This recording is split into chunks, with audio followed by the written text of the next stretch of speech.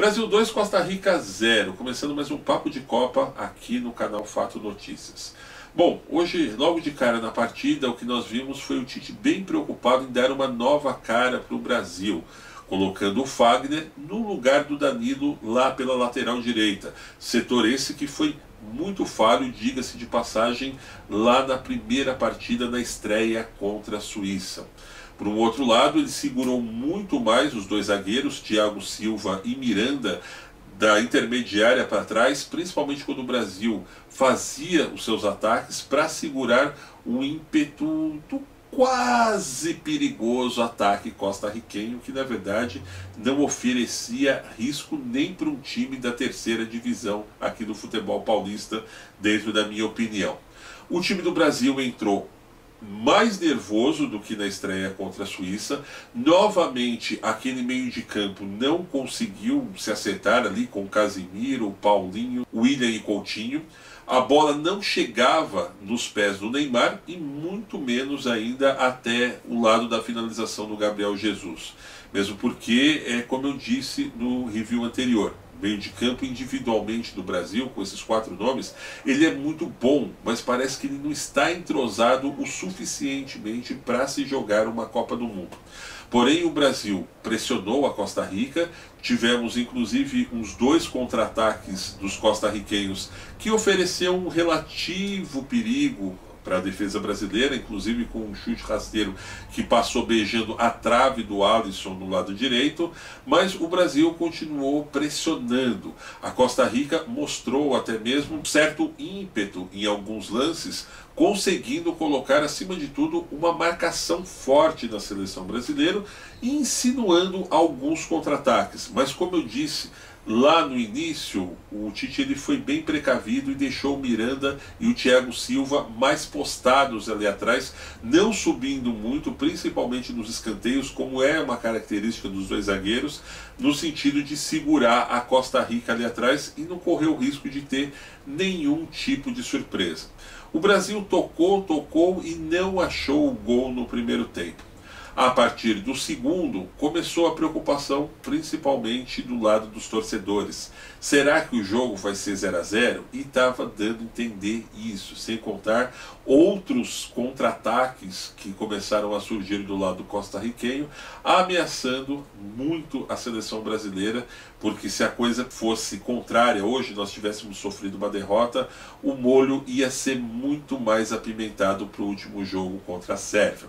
Mas eis que veio o lampejo, desta vez, do banco da própria parte do Tite, que na minha opinião foi fundamental para essa vitória brasileira. A partir do momento que ele fez suas alterações, tirando o Paulinho, colocando o Firmino, principalmente tirando o William e colocando o Douglas Costa, e um pouquinho mais para frente, tirando o Gabriel Jesus e colocando o Fernandinho. Com essas alterações, ele acabou não só deixando o time do Brasil mais ofensivo, mas fazendo com que o, o, time não prendesse tanto a bola do lado direito, como é uma característica mais do William, que é um jogador que ele pega a bola, é muito mais habilidoso, mas de certa forma ele prende ali o jogo. E falando do lado direito, como eu comecei a falar do Fagner lá no início da análise, não teve absolutamente nada de novo. Ele segurou o Fagner também junto ali com os, os, dois zagueiros, o Thiago Silva e o Miranda, onde inibiu o lateral de subir muitas das vezes e liberando, claro, aquele lado esquerdo que é muito mais habilidoso, como todos sabem, com o Marcelo. Então até aí eu não vi nenhum tipo de evolução no Brasil quanto a essa ala direita. Parece mais que ele quis colocar o Fagner para dar ritmo de jogo ou até mesmo para testar até onde ele pode confiar nesse jogador dele até o final da Copa ou então pelo menos enquanto o Brasil prosseguir dentro dela. Bom, o jogo foi aquele pega para capar ali do, do, meio dos 30 minutos em diante, como eu disse, as alterações do Tite surtiram efeitos, o Brasil demonstrou uma outra cara, começou a construir jogadas muito mais ofensivas e mais claras de gol, até que aconteceu aquele pênalti que, como diria Milton Neves, não foi um pênalti, né? Foi um pênaltizinho, vamos dizer assim. Onde eu acho que foi muito mais a, a questão da forçada do, do, Neymar do que propriamente dito um pênalti daqueles, né? Na verdade, na minha opinião, a mão mais escapou mesmo naquele, naquela questão do choque que é normal dentro da área entre o defensor costarriquenho e o próprio atacante brasileiro. Mas é claro que até aquela choradeira, a Globo ia fazer toda, todo aquele drama e etc e tal.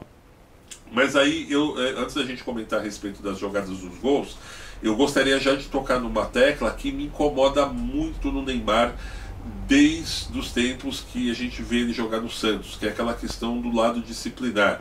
Ele já tem 26 para 27 anos, já é um jogador rodado, já passou por grandes centros, já tem uma quantidade razoável de gols dentro da seleção brasileira, conhece a arbitragem europeia internacional, então ele não tem nada o que ficar falando. Ele acabou ganhando um cartão de graça hoje, é, uma atitude meio mimada de pegar, dar aquele soco na bola. O árbitro já tinha conversado com ele antes que ia amarelar ele. O próprio Tite do banco, como a própria Globo noticiou, já tinha dado uma bronca nele.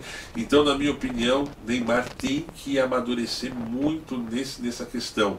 Ele deixar de ser um jogador que fica choramingando pelos cantos, assim como até aconteceu no final da partida, mas eu vou dizer lá no final, para ser um líder, para ser o mais, digamos assim, o homem mais expressivo dentro de campo. Aquele, aquele, aquele cara que é o exemplo não só fora, mas como dentro, e que os atletas mais novos que vão começar a vir para a seleção brasileira, principalmente após essa Copa, vão olhar para ele e vão se espelhar nele. Porém, vamos deixar essa parte de lado e vamos sim à parte dos gols, que acabaram vindo, é bem verdade, quando todo mundo menos esperava, que era nos descontos. Eu, particularmente, já estava conformado com o 0 a 0 já fazendo as contas para o jogo contra a Sérvia, que não seriam nada, nada fáceis, dependendo do jogo que a gente vai ter agora, que não se realizou enquanto fiz o review da Sérvia contra a Suíça, até que as duas jogadas vieram justamente pelo lado direito e pelos pés dos caras que o Tite colocou muito bem dentro do jogo. Ou seja, o Firmino, que deu um passe de cabeça muito legal para o Gabriel Jesus, que acabou não pegando, e sobrou nos pés do Coutinho, que não perdoou e fez aquele gol com muita frieza. E depois o próprio Douglas Costa acabou dominando uma bola muito interessante e teve uma visão de jogo privilegiada para estar tá dando passe para que o Neymar só empurrasse para dentro das redes. Bom, ganhamos, mas na minha opinião ainda não convencemos. É, sem querer tirar o mérito dos jogadores brasileiros, mas a gente não ganhou de nenhuma grande superpotência, por exemplo, como o México fez aquele baita daquele jogo contra a Alemanha e ganhou lá, a gente ganhou da Costa Rica. Espero que com essas alterações, principalmente, o Tite comece a achar um caminho mais claro, mais ideal para esse meio de campo da seleção brasileira. Mas é isso aí, pessoal. Esse foi mais um Papo de Copa hoje aqui no canal. Obrigado por quem assistiu até aqui. Em breve eu vou voltar aqui com muito mais. Afinal de contas, nós estamos no mês da Copa do Mundo e tem muita coisa para falar a respeito dela. É isso aí, meus amigos. Eu espero que tenham gostado do vídeo de hoje. No entanto, não se esqueçam de se inscrever no canal, deixar o seu joinha e participar nos comentários. E para receber nossas novidades, acione a campanha de notificações, que está ali, bem ao lado do botão de inscritos. Um grande abraço e até breve!